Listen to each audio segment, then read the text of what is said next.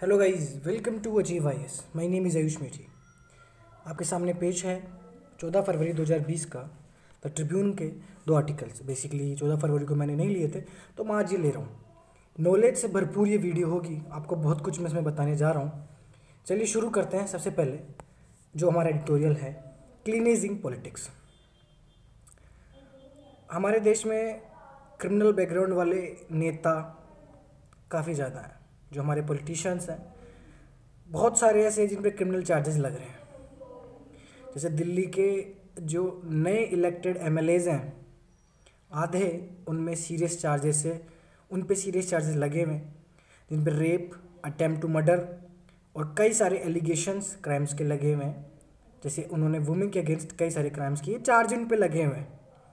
Charge उन पर लगा हुआ है, आरोप उन पर लगा हुआ है कन्विक्ट अभी नहीं हुए। कन्विक्ट होने पे अपने आप डिस्कालीफाई हो जाएँगे इलेक्शन कमीशन के द्वारा।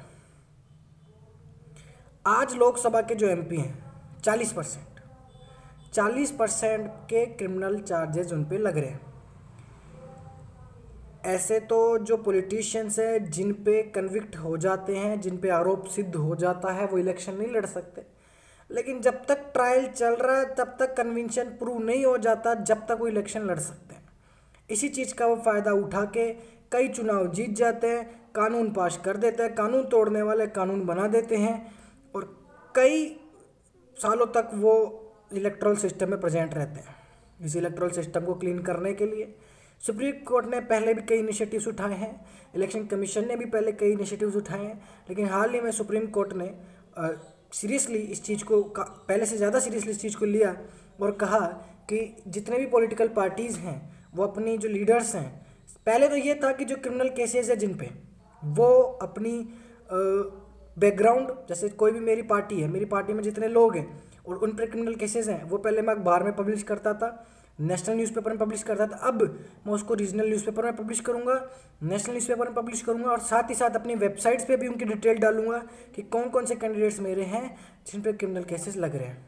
और साथ ही साथ सबसे बड़ी चीज़ जो इस बार हुई है, सुप्रीम कोर्ट ने कहा है कि इतना ही नहीं, आप ये भी बताएँगे कि आपने उन लोगों को चुनाव में क्यों खड़ा किया जिन पर क्रिमिनल चार्ज लग रहे थे? बजाय कि उनको क्यों नहीं खड़ा किया जिन पर क्रिमिनल चार्ज नहीं थे? अब कारण यहाँ पे पॉलिटिकल पार्टी दे सकती है कि इनके जीतने के चांसेस हैं इस वजह से, लेकिन सुप्रीम कोर्ट ने साफ़ मना कर दिया कि विनेबिलिटी वाला रीजन आप नहीं दे सकते। इसके अलावा आपको बताना पड़ेगा कि आपने क्यों इनको प्रेफरेंस दी? क्या उनके अचीवमेंट्स हैं? क्या उनमें क्वालिटीज़ हैं? क्या उनमें मेरिट्स हैं? क्या ऐसा कंट्रीब्यूशन इन्होंने सोसाइटी में किया है कि हाँ आपने इनको चुना है, जबकि आप जानते हैं कि इनमें क्रिमिनल चार्ज लग रहा है। कि इनको रीजन बताना पड़ेगा। सुप्रीम कोर्ट ने बार बार ये कहा है कि एक वोटर का डेमोक्रेटिक राइट है right to know about a candidate's criminal antecedents criminal cases कितने ज़्यादा हैं कैंडिडेट्स पे, ये जानना काफ़ी ज़्यादा ज़रूरी है।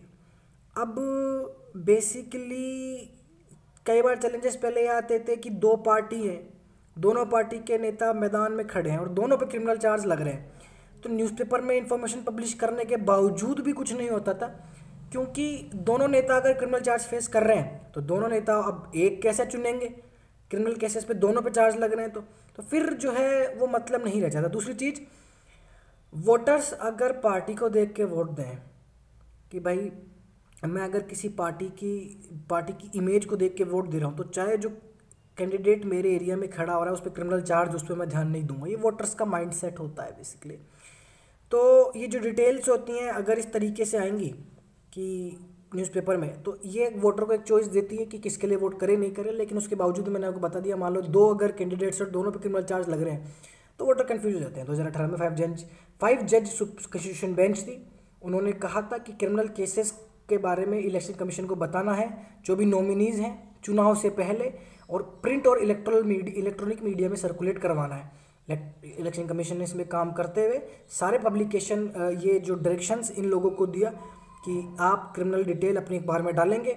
हालाँकि ग्राउंड लेवल पे बहुत कम काम ऐसा हुआ है। ज़मीनी हकीकत यह है कि न्यूज़पेपर से मैंने तो आज तक नहीं देखे कि कोई कैंडिडेट के बारे में चुनाव से पहले कोई जानकारी हो। तो पार्टीज़ जो हैं और जो कंटेस्टेंट्स हैं वो काफ़ी हिचकिचाते हैं करने से, क्योंकि ऑब्वियस रीज़न ये है कि उनका जो चुनाव है वो हार सकते हैं। इलेक्शन कमीशन के ऊपर अब सुप्रीम कोर्ट ने अपना काम कर दिया। अपनी ज़िम्मेदारी बहुत अच्छे तरीके से सुप्रीम कोर्ट ने निभाई है। इलेक्शन कमीशन की अब ज़िम्मेदारी है कि वो कैंडिडेट की ट्रांसपेरेंसी के देखे और ग्राउंड पे चेंजेस जब तक नहीं बदलेगी, तब तक इलेक्शन कमीशन को पावर नहीं दी जाएगी। केवल नोटिस इशू करने से और कैंपेन पे बैन करने से कुछ नहीं होता। इलेक्शन कमीशन को ऐसी पावर्स देनी चाहिए कि कैंडिडेट्स कैंडिडेट्स को हैंड टू हैंड डिस्कालीफाई कर सके। पार्टीज़ को डी रजिस्टर कर सके। अगर पार्टीज़ बात नहीं माने तो डी रजिस्टर ही कर सके। इतनी पावर इनको देनी पड़ेगी। और अगर इलेक्ट्रल ऑफेंसेज होए तो उसको पावर देनी पड़ेगी। वोटर्स को अंधेरे में नहीं रखा जाए, इस पर सुनिश्चित तरीके से काम करना होगा। जुडिशियरी नहीं एग्जीक्यूटिव ही नहीं, बल्कि लेजिस्लेचर संसद को भी साथ में आना पड़ेगा। विधानसभाओं को भी साथ में आना पड़ेगा। कानून ऐसे पारित करने पड़ेंगे। सुप्रीम कोर्ट ने हाल ही में सारे राज्यों को जानकारी दी डायरेक्शन दिया कि आप जो इलेक्ट्रल जो कैंडिडेट्स हैं, उन पे जो क्रिमिनल चार्जेस लगे हुए हैं, उनको सोल्व करने के लिए अलग से फास्ट ट्रैक कोर्ट्स बनाइए। ये भी अपने आप में एक ट्रांसफॉर्मेटिव ऑर्डर है। अपने आप में ट्रांसफॉर्मेशन कर रहा है सुप्रीम कोर्ट काफ़ी अच्छी चीज़ है। चलिए एक बार इसके बारे में डिटेल में एक एक्स्ट्रा नॉलेज हम ले लेते हैं। क्रिमिनलाइजेशन पॉलिटिक्स सुप्रीम कोर्ट के क्या एफोर्ट रहे? सुप्रीम कोर्ट ने बार बार कहा है कि शुद्धता रहनी चाहिए विधानसभाओं में। 2002 में इसने कहा कि जितने भी कैंडिडेट्स हैं 2002 में ही कह दिया था कि रिटर्निंग जो ऑफिसर है, जो आपका इलेक्शन कमीशन में जो ऑफिसर रहता है, उस पर आप अपनी सारी क्रिमिनल केसेस की जानकारी उनको दोगे। नोटा आया। नोटा के बाद पब्लिक में इलेक्ट्रॉनिक मीडिया में न्यूज़पेपर्स में सर्कुलेट करने की बातें की गई और पॉलिटिकल पार्टीज़ को कहा कि नोटा हम इसलिए ला रहे हैं, नॉन, नम नन ऑफ़ द बो ताकि आप एक बार सोचो कि आप जो अपने क्रिमिनल बैकग्राउंड से लोग पार्टी चुनाव में उतार रहे हो लोग उनको वोट दे रहे, नहीं दे रहे। दो हज़ार चौदह में एक लैंडमार्क जजमेंट में सुप्रीम कोर्ट ने बात एक्सेप्ट की कि क्रिमिनलाइजेशन वाली पॉलिटिक्स को साफ़ करना होगा और सारे सबॉर्डिनेट कोर्ट्स को डायरेक्शन दिया कि जितने भी कानून में दाव पेज फंसे हुए हैं इलेक्ट्रल कैंडिडेट्स के ऊपर क्रिमिनल चार्ज के ऊपर, फटाफट एक साल के अंदर सोल्व हुए अगर ऐसा नहीं कर पाए तो आपके हाई कोर्ट को चीफ जस्टिस को इसका कारण बताएँ। तो सबॉर्डिनेट कोर्ट्स जितने भी आपके डिस्ट्रिक्ट कोर्ट्स वगैरह हो गए, सबको ऐसा कहा गया लेकिन इससे कुछ फ़ायदा निकला नहीं। तो सुप्रीम कोर्ट ने हाल ही में ये कहा सारे राज्यों को कि फास्ट ट्रैक कोर्ट्स स्थापित किए जाएँ, क्योंकि सबसे महत्व वाली बात यही है कि हमारे चुनाव साफ़ तरीके से हों, कानून तोड़ने वाले कानून बनाने लग जाएँगे तो डेमोक्रेसी खतरे में पड़ जाएगी। डाटा है एसोसिएशन ऑफ़ डेमोक्रेटिक रिफॉर्म्स का। इलेक्शन कमीशन का जो डाटा है, उसका एनालिसिस इसने किया है। कि आज के लोकसभा में करीब 40 परसेंट, ये डाटा थोड़ा पुराना हो चुका है क्योंकि अभी 40 परसेंट लोग हैं, वो क्रिमिनल केसेस फेस कर रहे हैं लोकसभा में। जिनमें से 113 तो सीरियस क्रिमिनल चार्जेस फेस कर रहे हैं अटैम्प्ट टू मर्डर रेप्स और सीरियस जो के ऑफेंसेस है वुमेन अगेंस्ट वुमेन ये नंबर जो है, ये धीरे धीरे बढ़ता चले गया और ये काफ़ी ज़्यादा सीरियस केसेस सामने निकल के आए। क्यों है? कारण क्या है? वजह क्या है? रीजन क्या है? Corruption vote bank lack of governance corruption की मैं बात करूँ तो पैसा इतना खिला दिया जाता है कि क्रिमिनलाइजेशन बढ़ जाता है। वोट बैंक की मैं बात करूँ तो आज जिस तरीके से चुनाव होते हैं, एक गरीब पढ़ा लिखा एजुकेटर वोट एक कह सकते हो आप रिफॉर्मर चुनाव नहीं जीत सकता, बिना पैसों के। आज हकीकत ये है, चाहे कितनी भी आप डेमोक्रेसी की बात कर लो, चुनाव वही जीतता है जिसके पास पैसा हो पावर हो। मैं सबकी बात नहीं कर रहा, लेकिन मोस्टली उनमें से वो होते हैं जिन पे सीरियस चार्जेस लगे हुए होते हैं। या फिर वास्तव और हर कोई बेगुना तो नहीं हो सकता, जैसे पॉलिटिकल पार्टी कहती है कि ये चार्जेस तो पॉलिटिकली मोटिवेटेड है। ऐसा नहीं हो सकता, किसी पे सीरियस या फिर सही चार्जेस भी हो ही सकते हैं। लेकिन ये पता कब चले, जब फटाफट कैसे सोल्व हुए? सालों तक कैसे झटके रहते हैं, इसलिए तो सुप्रीम कोर्ट ने फास्ट ट्रैक कोर्ट स्थापित करने की आदेश दिए। लैक ऑफ़ गवर्नेंस में लैक ऑफ़ गवर्नेंस यहाँ पे इलेक्शन कमीशन का रोल आ जाता है। इलेक्शन कमीशन जो है, उसको ऐसी पावर देनी चाहिए कि वो पार्टीज़ को डी रजिस्टर कर सके कैंडिडेट्स को डिस्कालीफाई कर सके। केवल इश्यूज़ डालने से कुछ नहीं होगा नोटिस और समन करने से कुछ भी नहीं होगा। तीन पॉसिबल ऑप्शन आपके सामने हैं। पॉलिटिकल पार्टी पहली बात तो ऐसे लोगों को टिकट ना दे। दूसरी बात, जिन पर सीरियस केसेस लगे हुए वो इलेक्शन ना लड़े। फास्ट ट्रैक कोर्ट स्थापित की जाए। फास्ट ट्रैक कोर्ट्स पे काम चल रहा है। पॉलिटिकल पार्टी अपना काम नहीं कर रही है। और आरपी एक्ट में भी कई सुधार हमको लाने पड़ेंगे। फास्ट ट्रैक कोर्ट्स वाला काम शुरू हो गया है। और भी मेजर्स आप ले सकते हैं। जैसे ट्रांसपेरेंसी आप ले सकते हैं कैंपेन फाइनेंसिंग में। कितना पैसा कहाँ से जा रहा है, लेकिन इलेक्ट्रल बॉन्ड जब से आए तब से काफ़ी ज़्यादा इसको ट्रैक करने में मुश्किलें हो रही है। अभी पता चला था कि दिल्ली चुनाव थे, उसमें सत्ताईस, सत्यासी करोड़ के इलेक्ट्रल बॉन्ड में पैसा गया था, करीब कुछ ऐसा ही था। और काफ़ी पैसा जाता है, बहुत भर भर के पैसा जाता है। इलेक्ट्रल बॉन्ड का एक अलग ही इशू है, वो कभी और समझेंगे। अच्छा इशू है। इलेक्शन कमीशन ऑफ़ इंडिया के, को पावर दी जाए कि पॉलिटिकल पार्टीज़ के फाइनेंशियल अकाउंट्स को ऑडिट की जाए, कर सकता हो और पॉलिटिकल पार्टी के फाइनेंस को आरटीआई के अंदर लाया जाए। ये शुरू से ही एक मांग उठ रही है। कि आरटीआई के अंदर पॉलिटिकल पार्टीज़ के फाइनेंस को लाया जाए। ब्रोडर गवर्नेंस की जाए ताकि क्रिमिनल पॉलिटिशियंस पे वोटर डिपेंड नहीं रहे। अब वोटर डिपेंड क्यों रहेगा? मान लो आपके सामने दो कैंडिडेट है, दोनों पे क्रिमिनल चार्ज है, फिर किसको चुनोगे आप? तो यही बात है ना, इस वजह से ये और एक तो इलेक्शन कमीशन का जो मिलना जुड़ा है ये पॉलिटिकल पार्टी से क्रिमिनल से करप्शन जो इसको तोड़ना पड़ेगा। इलेक्शन कमीशन को इंडिपेंडेंट पावर बनाना पड़ेगा। टूथलेस टाइगर ये है। उससे काम नहीं चलेगा। और इलेक्शन कमीशन जब कैंडिडेट्स को फॉर्म देता है कि ये फॉर्म फिल करो कि आपके केसेस बताओ कौन कौन से चल रहा है, ये स्टेप जो हुआ ये बहुत अच्छा है और इसको अगर अप्लाई ढंग से किया जाए तो बहुत बड़ा ये रिफॉर्म साबित हो सकता है। चलिए दूसरे एडिटोरियल की हम तरफ़ हम बढ़ regulating medical devices patient safety के लिए एक पॉजिटिव कदम उठाया गया सरकार के द्वारा। जो मेडिकल डिवाइसेस हैं, उनको अब एक तरीके से ड्रग्स कहा जाएगा। एक डेफिनेशन जो ड्रग्स के उसके अंदर ये डिवाइसेस आएँगे। आपको अजीब सा लग रहा होगा, लेकिन ये करना ज़रूरी था। और इसके तहत मेडिकल डिवाइसेस का परव्यू अब ड्रग्स और कॉस्मेटिक एक्ट्स में किया जाएगा। ये एक पॉजिटिव स्टेप है, स्वागतनीय योग्य कदम है। और चूँकि इसकी वजह से मेडिकल डिवाइसेस अगर इस एक्ट में आते हैं तो कई सारे स्टैंडर्ड्स इनको मीच कर मीट करने पड़ेंगे क्वालिटी इनको बनाए रखनी पड़ेगी। क्योंकि इस एक्ट में आने का मतलब है कि अब इन पे जो है रेगुलेशन हो सकता है। अब तक इन पे रेगुलेशन ढंग से नहीं हो सकता था। ये ऐसा लिया गया जॉनसन एंड जॉनसन का केस आया था, जिसके बारे में हम डिटेल्ड अभी स्टडी करेंगे। चिंताएँ थी सरकार को थी कि पेशेंट सेफ्टी का काफ़ी हल्के में लिया जा रहा है कंपनियों के द्वारा। मेडिकल डिवाइसेस मैन्युफैक्चरर्स की कोई जवाबदेही नहीं है, ज़िम्मेदारी नहीं है, गैप है। डॉक्टर्स की ज़िम्मेदारी नहीं है। कानून अगर इस तरीके के नहीं होंगे, जिसमें अगर डिवाइस की क्वालिटी किस तरीके से रेगुलेट की जाए तो फिर जो है, इस वजह से डॉक्टर्स भी नए नए डिवाइसेस चेक नहीं करते। नए नए प्रोडक्ट्स नई नई कंपनीज़ के चेक नहीं करते, क्योंकि डिवाइस की क्वालिटी का कोई कानून नहीं है। अगर डिवाइस की क्वालिटी, मान लो मेडिकल डिवाइस कोई कंपनी ने उतार दिया और मेडिकल डिवाइस हार्मफुल है तो डॉक्टर को पता है कि इस कंपनी की कोई ज़िम्मेदारी नहीं होगी। मेरे को पुलिस वाले धर लेंगे आके। तो डॉक्टर नई प्रोडक्ट्स चेक नहीं करता और पुराने डिवाइसेस अगर यूज़ लेगा तो टेक्नोलॉजी का एडवांसमेंट तो समय समय पे कर देना चाहिए ना। तो ये भी एक वजह। डिवाइसेस अगर ड्रग्स एंड कॉस्मेटिक एक्ट में आ गए तो अब इनके ऊपर निगरानी रखी जा सकती है central drugs standard control organisation के द्वारा, जिसके बारे में हम पढ़ेंगे। डोमेस्टिक मेडिकल डिवाइस जो इंडस्ट्री है, जो वर्थ बिलियंस ऑफ़ रुपीज़ हैं, वो अब बढ़ जाएँगी, क्योंकि अब काफ़ी ज़्यादा फ़ायदा इनको होगा। मेडिकल डिवाइस इंडस्ट्री में अगर क्वालिटी आएँगी तो नए नए जो डॉक्टर्स हैं नए नए प्रोडक्ट्स चेक करेंगे, क्योंकि अब उनकी जवाबदेही तय हो गई। लेकिन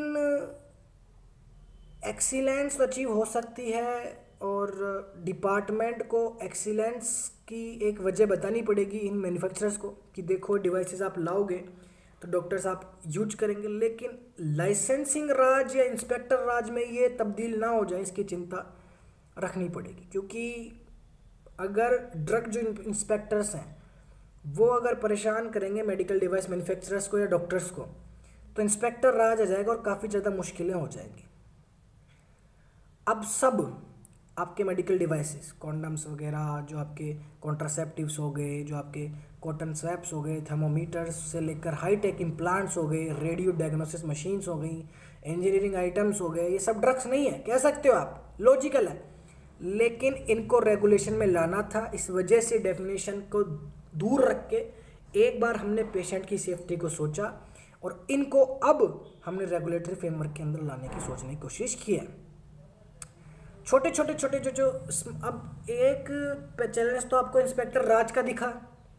एक इसका चैलेंज ये दिखा आपको कि जो छोटे छोटे जो स्मॉल स्केल फर्म्स हैं, जो मेडिकल डिवाइसेस बना रही हैं, वो इस रेगुलेटरी फ्रेमवर्क के अंदर नहीं आ पाएँगे क्योंकि काफ़ी कॉस्टली होगा कि उस मेडिकल डिवाइसेस को रजिस्टर करवाए, फिर वो इंस्पेक्टर राज वाला की मान लो अगर उन पर छापा पड़ा तो फिर ज़बरदस्ती उनको परेशान किया जा सकता है, पैसे मांगे जा सकते हैं करप्शन किया जा सकता है। तो काफ़ी ज़्यादा कॉस्टली इन लोकल स्मॉल स्केल फर्म्स के लिए हो जाएगा।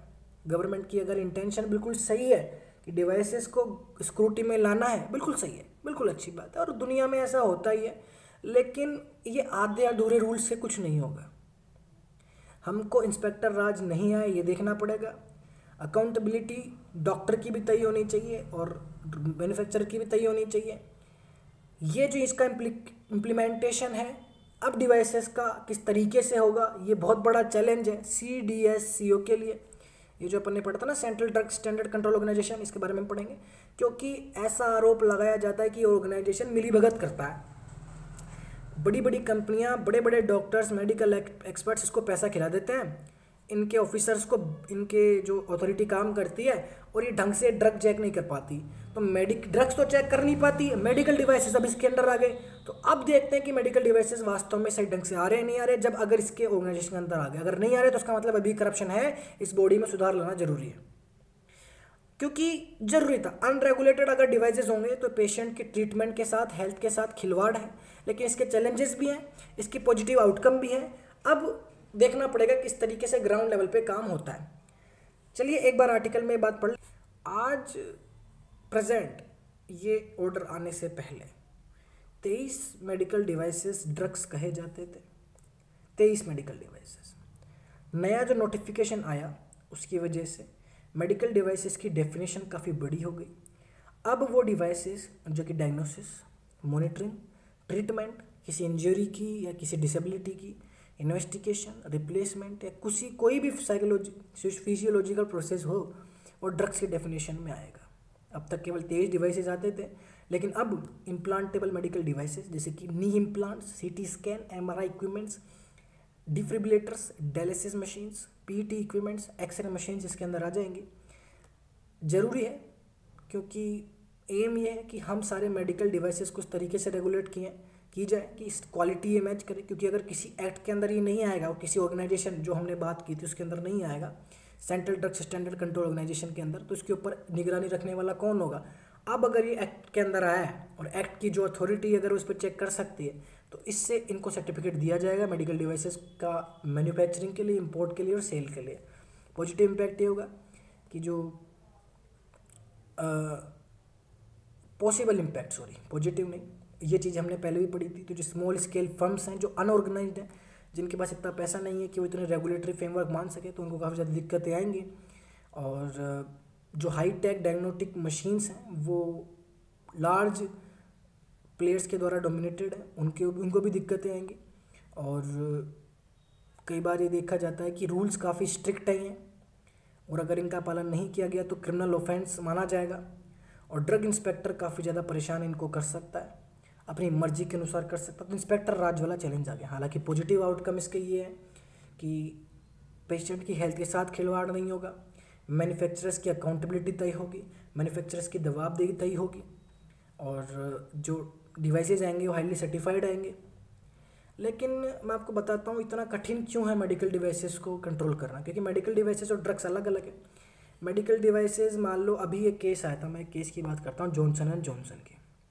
इसमें क्या हुआ कि जॉनसन और जॉनसन ने अपना एक डिवाइस निकाला पिनेकल ये पिनेकल बेसिकली जब भी बॉडी में इलाज किया जाता है इसके द्वारा, इसके, इस इंस्ट्रूमेंट से कोबाल्ट क्रोमियम आयोन निकलते थे।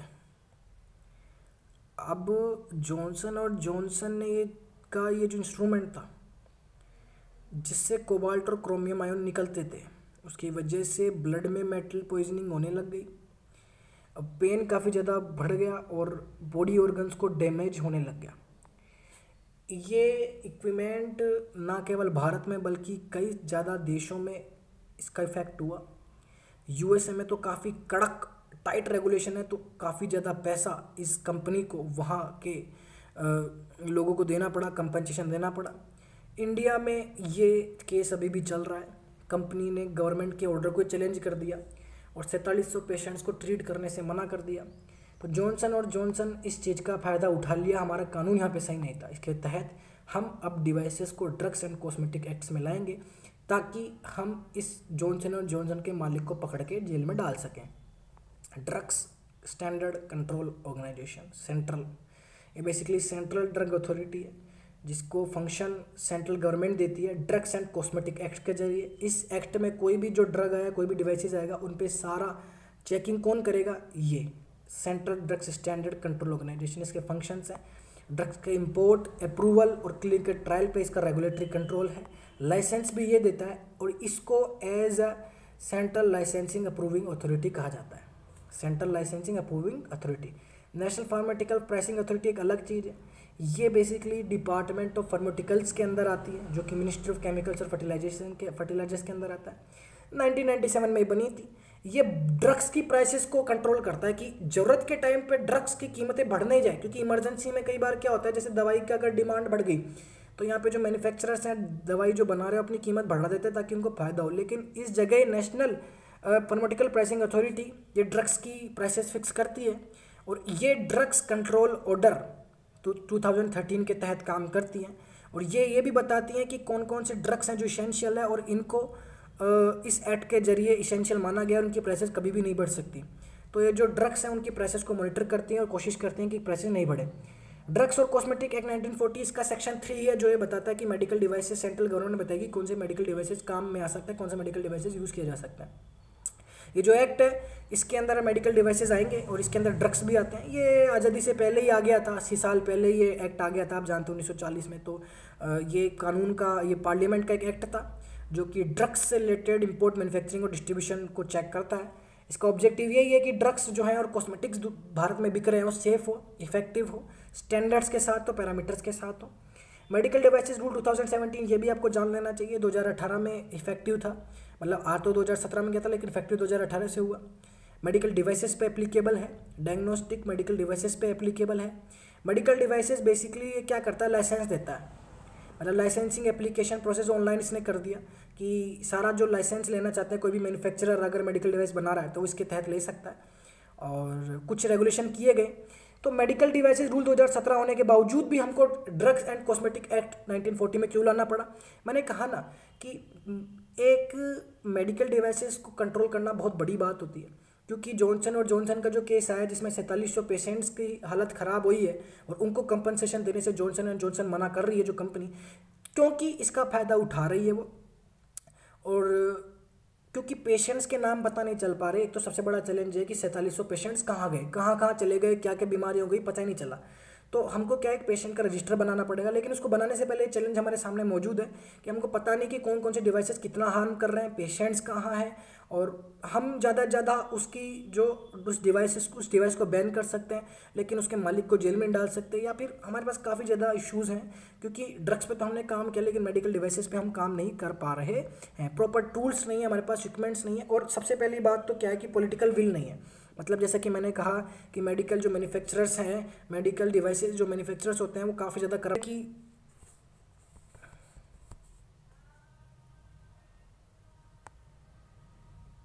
ये भी एक वजह है कि जिस वजह से इनको रेगुलेट करना मुश्किल है।